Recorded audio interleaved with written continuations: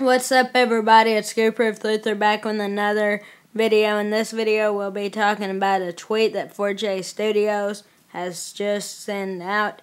It says, mods won't be added.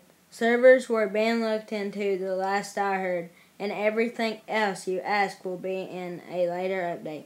So, yeah. That says that servers are coming. So, yeah, remember to leave a like and subscribe for more. Remember, I'm Good Screwproof Luther. Peace out.